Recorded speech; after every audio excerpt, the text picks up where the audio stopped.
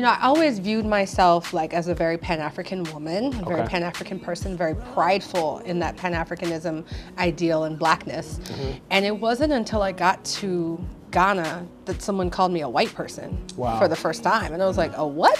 What'd they call you, a Bruni? A Bruni. you know, or like just even confronting that identity politics for the first Mm. time where for so long you've had this identity crisis of trying to figure out where you fit in and where you're from and who you are. And then you get to the continent of Africa and you're like, my brother. And they're like, I don't know you.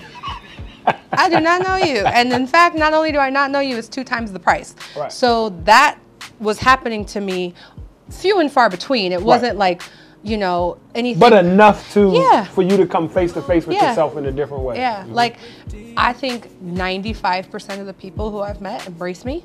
I mm-hmm. think 95% of the people who I've met really understand the connection in the diaspora and want to link and want to build and want to be united. Mm-hmm. They're like-minded individuals. That's why I mess with them. You know what I mm-hmm. mean? That's why they mess with me. But in terms of that small 5%, it's enough and it's like it's in the most weird of moments you know where you're like in the market and you're just oh i'm gonna get some papaya auntie how are you? And then they're like you know who are you